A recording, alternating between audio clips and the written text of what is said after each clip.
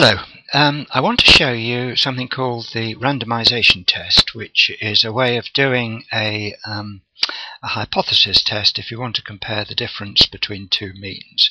Um, it's a bit like the um, t-test, except there's almost no mathematics. It's blindingly obvious how it works, and the assumptions are quite a lot simpler, and in a sense it's more rigorous. So it's very useful, very powerful, so needless to say it is rarely used which is a pity. Anyway, so what have we got here? Um, the example I want to use is here. We've got um, 10 exam marks, um, 5 from females and 5 from males. Um, if you wanted to know um, who does best in this exam, males, males or females, the obvious thing to do is to work out the average of the female marks. So if you work out the average of those, that comes to 53.2. Similarly, the male average comes to 58.8. So the males are comfortably more, and if you work out the difference, female minus male, it comes to minus 5.6. Um, plus 5.6, of course, would mean the females are getting more. Okay, so this seems to show that males do better than females in this exam, but the sample is only um, 10. Can you be sure that the same thing would happen if you had um, a bigger sample or if you were considering the whole group of um, students? So this is the question that null hypothesis tests are designed to cope with, namely um, if you've got a difference or some sort of relationship, how can you be sure that that represents a real difference which applies to the population in general rather than just an, a chance effect of the particular sample you happen to have? So, how do we go about it? Well, if the, the key thing is to be clear about what the, the chance hypothesis is, the so-called null hypothesis. This, in this case, is the idea that um, the mark somebody gets in this exam um, is not affected by their sex. Females and males get the same. So the obvious way to sort of investigate that is just to um, Imagine that each of those marks was on a card, shuffle the pack, um, deal out five for the males, five for the females, and that will give you an idea of the sort of thing that might happen if sex really makes no difference to marks. So if we do that lots of times, we get an indication of how much the marks between the two sexes will vary if there really isn't any difference. Well, how do we do this? Well, it's dead easy. You'll see that I've put some random numbers here. This is to help with the next worksheet, which is called a single resample. The word resample just means a sample taken from a sample. And um, what I've what I've got here is exactly the same list of marks there and the same five females, five males, etc. Um, there. Um, but this time um, I haven't got the same data. What I've got is the shuffled data. And another name for the randomization test that I prefer is the shuffle test. So imagine you've got these cards, you shuffle them, and you deal five for the males, which is oh, sorry, back to the top. You, de you deal 5 for the males, which is the first 5, sorry, 5 for the females, which is the first 5, 5 for the males, which is the next 5, and the female average turns out to be 54.4, the male average is 57.6, so the difference is 3.2. So that's fairly similar to the difference of 5 and a bit we got before, which sort of suggests that quite big differences can happen by chance. If you press F9, um, what that does is it forces the spreadsheet to recalculate so that you get a different shuffle. Unfortunately, the software I'm using um, has disabled F9, so I can't do that. But if I enter a number there, which will force the spreadsheet to re to um, recalculate, you'll notice that the marks have shuffled.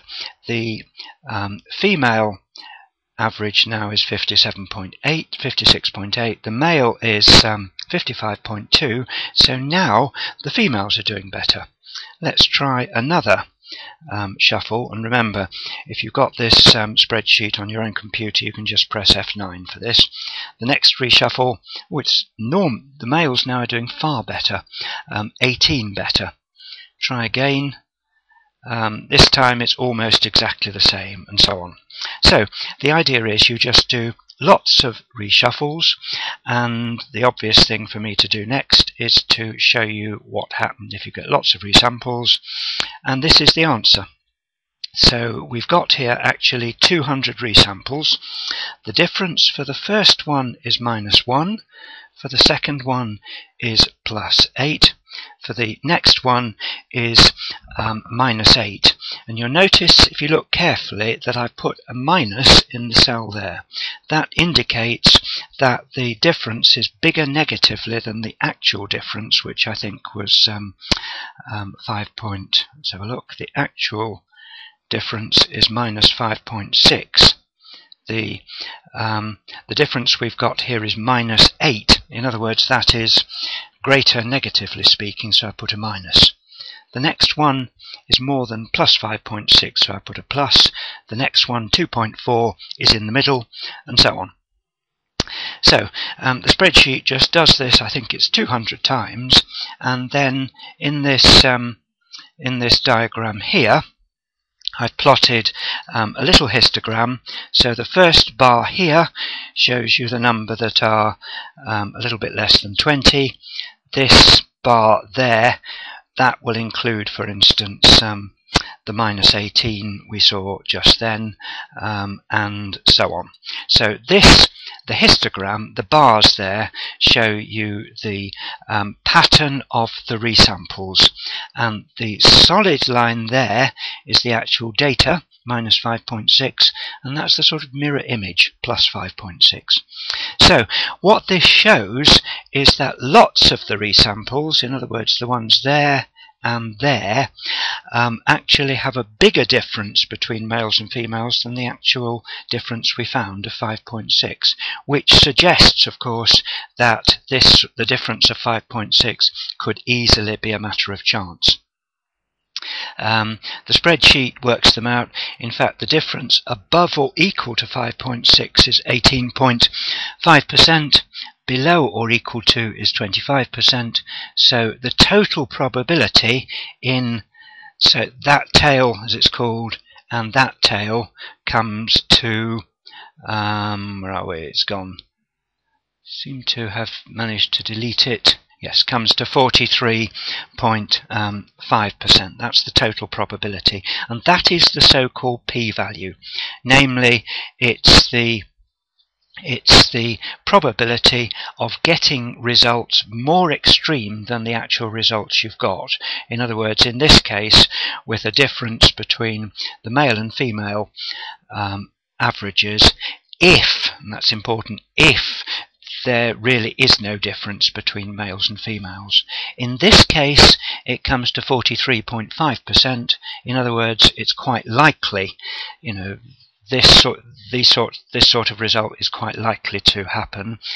If the sample was much larger, or the difference was much more extreme or the pattern was different in some way, um, in, in another example, you could well find that the um, that this probability is a lot lower.